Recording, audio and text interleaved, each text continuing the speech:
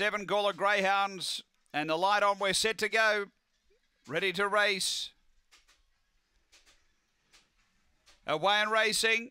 And speed from Pumpkin Party is driving through, going quickly. Singing Jules trying to cross and out wide, away too soft. Line of three down the back. Three away came Flamin' Bubbles. Improving quickly as Air Pumba Jets diving through. It's taken over and darted away. Well back, Blacklight Burn, Flamin' Bubbles and off the cuff, but turning Air Pumba is going to destroy them. Air Pumba by three.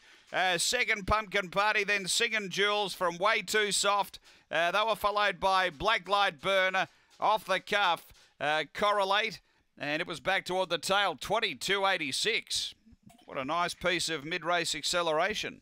Yeah, Pumba uh, really saw a gap, went hard, drove through, and uh, too good here after race number seven of the day.